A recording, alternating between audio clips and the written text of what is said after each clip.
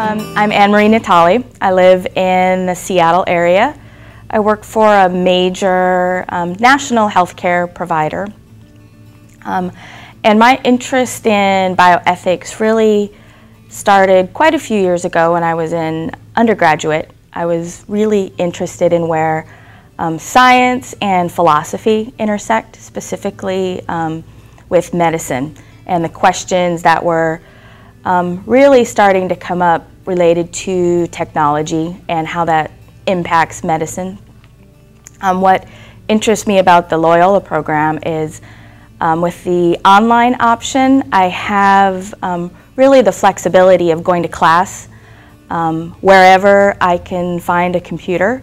I have a large uh, geographical area that I'm responsible for, so I can log into class in an airport, in a hotel, um, basically wherever I can find a computer, um, I can attend class. I've submitted papers from airports with the power out as long as I can get a wireless connection. You know, I'm, I'm really attending class.